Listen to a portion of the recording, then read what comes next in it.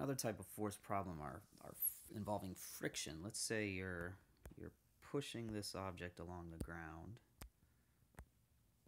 with some unknown force. Let's say you're looking for this force.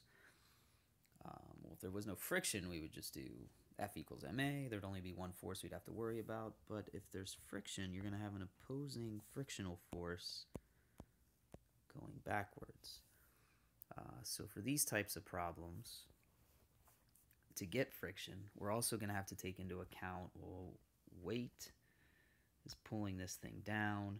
The ground is actually pushing up on it with a contact force, which we call the normal force. It's an F, F sub n. Um, the normal force is perpendicular. Normal means perpendicular to the surface. So here's our perpendicular to the surface. So to get friction, we need the normal force. We also need to know the coefficient. Typically, problems will give you two coefficients. One is called the static coefficient. It's 0.6. Um, yeah, 0.6. That's um, a description. It's a number that describes the surface that's holding it in place. The other type of friction, let's say they give us both, which typically is the case, is kinetic that's what happens. Um, that's the amount of that's the number that describes the surface as it's sliding across the um, as it's sliding across the surface.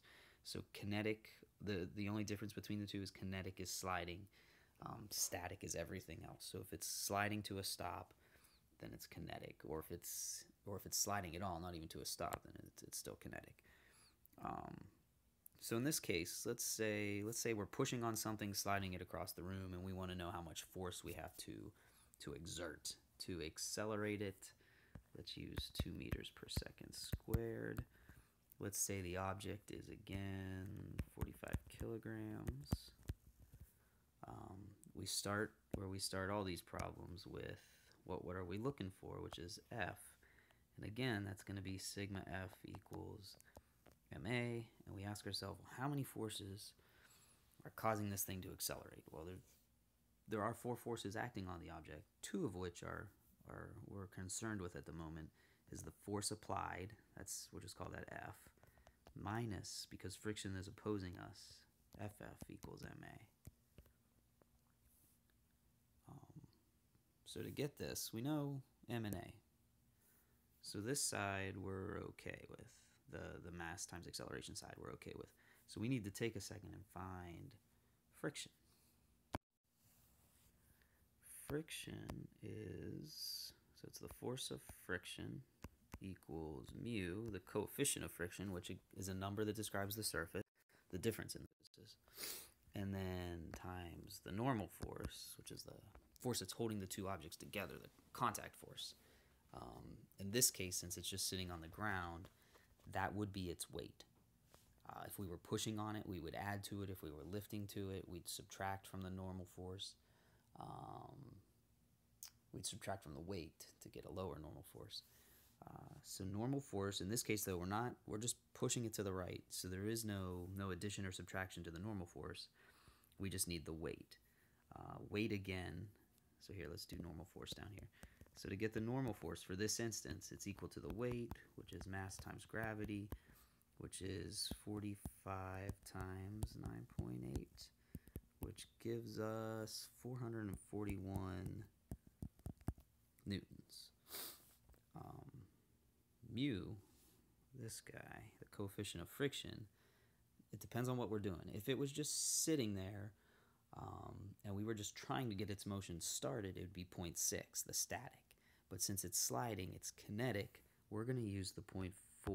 Again, whenever it's, it's kinetic, so we would use 0.4 times the normal force, which in this case, since it's on a flat surface, um, it's just the weight. that We do 0.4 times 441, which equals 47.8 newtons. So that's the amount of friction we have going. So now we can go back to our original equation. It's us pushing F minus friction, because that's opposing us, equals MA. Again, that comes from sigma F equals MA, and we had to realize that there were two forces opposing each other, so we subtract.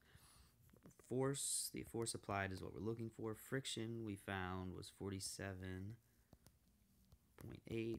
The mass we already knew was 45. And then the acceleration, we were trying to get an acceleration of 2. So on this side we get 90.